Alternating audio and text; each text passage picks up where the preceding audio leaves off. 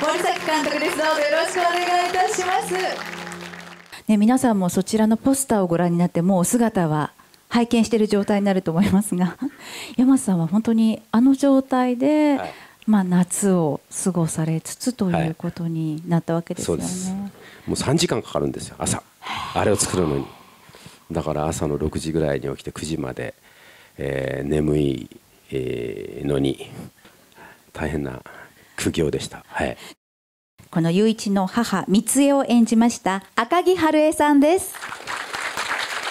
本当にこんなにふさふさとしたねおつむですのにもう本当に朝毎朝6時頃から頭をあれして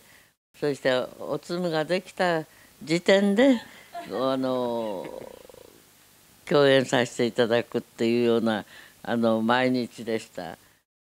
私も89歳になりまして。見えないですよね。だから昭和15年にあの映画界入りまして。そしてこの映画が最後になる幕を引くことになるんじゃないかと私は思いながら演じておりましたけれども。あの加瀬さんは森崎監督とは随分久しぶりのお仕事ということであれですよね「鶏は裸足だ」の時にご一緒されていてということで、はい、はい、まあ、森崎監督のファンなものですからこう監督の動きを調べていたところ あのこの映画のあの企画の話が書いてありましてでそこに監督の言葉が、えー、添えられてましてで、まあ、記憶は愛であるっていうようなことが書いてありましてでそれで非常にこう感動して、まあ、作品を楽しみに待っていたんですけどもそしたら、あのー、運よく声をかけていただいてもう、あのー、すぐに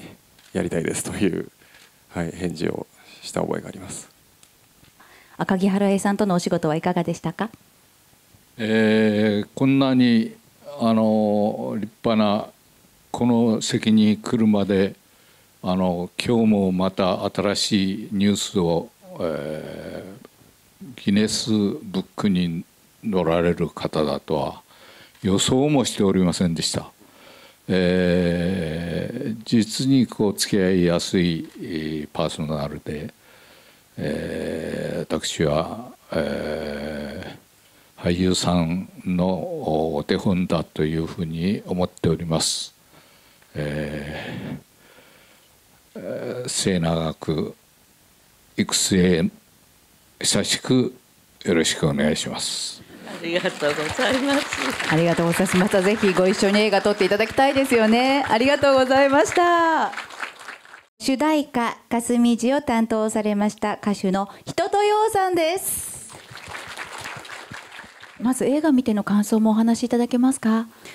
えーと信じられないぐらい号泣しました。はい。あのもうあのもし今ハンカチを持っていらっしゃらない方がいたらあのすぐにでもトイレに行ってあのトイレットペーパーをあの用意していただくといいかなと思います。本当に泣けます。